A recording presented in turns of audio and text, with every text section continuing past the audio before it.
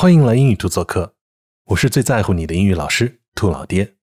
这次我们来讲讲英语 DJ 音标中的 air 这个音，它是这么发音的：air air air hair pair chair。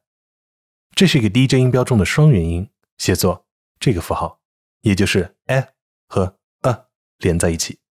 在句中书写音标时，一般放在一头一尾的斜杠里，像这样，以免和字母混淆。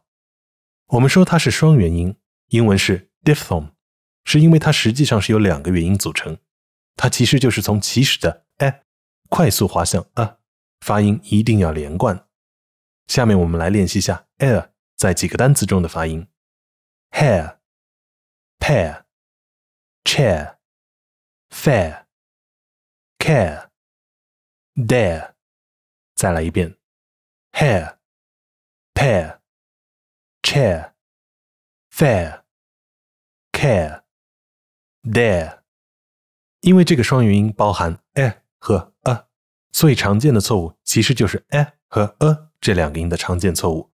不要把其中的 a 读成咱们中文普通话的 i，也不要把其中的 a 读成 r，否则这个双元音也就错误的发成了 air 或者。air，甚至是 ire 或者 ire。以下是错误读音，请避免：higher、pyre、chair、fire、care、dire。尤其是在读英音时，请注意，单词拼写即使出现字母 r，单词内部也不会像美音那样 r 化，也就是 r colorization。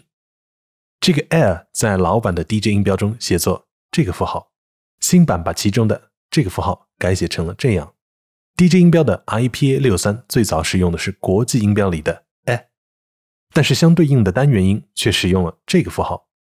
这个 a 倒是一直在 KK 音标中被使用，对应新版 DJ 音标，也就是 IPA 八八中的 a。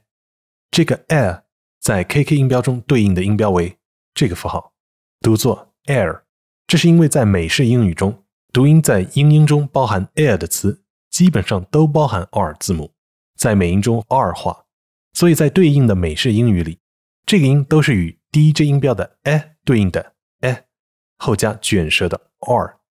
请听以下单词在英式英语和美式英语中的发音区别：英音 hair、pair、chair、fair、care、dare；美音 hair、pair。